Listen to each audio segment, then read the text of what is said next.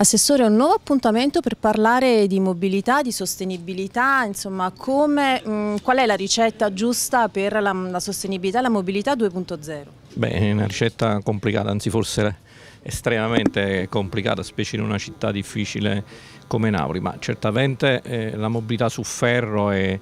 è, quella vincente perché con un treno grande come quello che abbiamo noi, un treno da 1250 persone, pure se viaggia al 30% vuol dire toglie 300 auto, quindi diciamo se viaggiassi a pieno 1000 auto, quindi non c'è dubbio che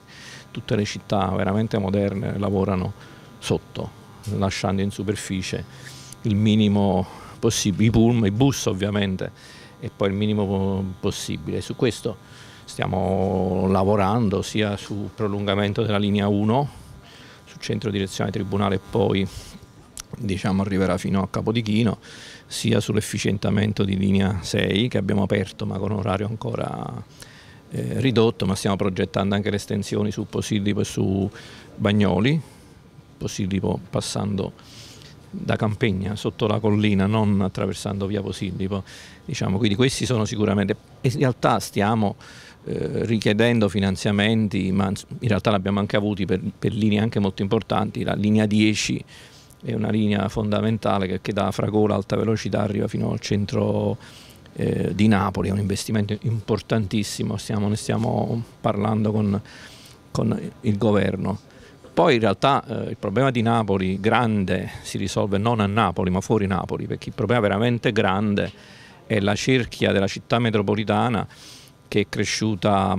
rapidamente senza trasporti significativi, penso a tutta l'area Qualiano, Villaricca, Giuliano, Melito, fino ad arrivare ad Arzano, che è una fascia estesissima, densissimamente abitata, che di fatto non ha nessuna alternativa che non venire in automobile a Napoli. Quindi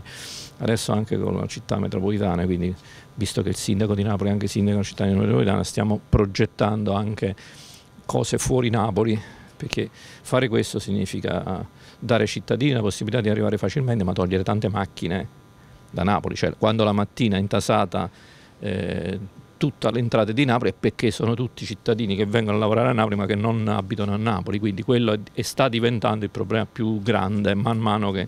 efficientiamo la città in sé, quindi questa è la grande sfida del futuro. La complessità del sistema passa anche dal dialogo con i vari attori, quindi con tutte le aziende che si occupano di trasporto pubblico locale, dialogo che tante volte non è proprio semplicissimo. Come si può migliorare questo aspetto? Sì, vabbè, noi, noi, come ANM abbiamo, per il direttore generale abbiamo fatto una competizione internazionale con una multinazionale, quindi abbiamo un direttore generale assolutamente top che aveva un'esperienza nelle ferrovie importantissima. I, rapporti poi in verità con, con, sia con EAV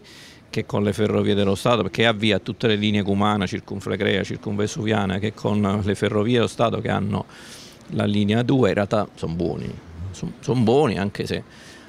obiettivamente loro hanno più difficoltà, specialmente EAV perché ha un sistema datatissimo perché queste assi che citavo prima, Cumana, Circonvesuviana, Circonfregrea, sono progettazioni di, talmente antiche che hanno ancora i passaggi a livello, sono lontanissimi da essere una vera metropolitana, proprio lontanissimi perché hanno i passaggi a livello, hanno roba inconcepibile, infatti hanno una frequenza tipo uno ogni 20 minuti che, che e infatti linea 1 da sola fa più passeggeri di tutta la somma di tutti i treni AV e da sola fa di più di tutti i treni regionali delle ferrovie dello Stato, una sola linea con i suoi 100.000 passeggeri al giorno che stupisce ma è così.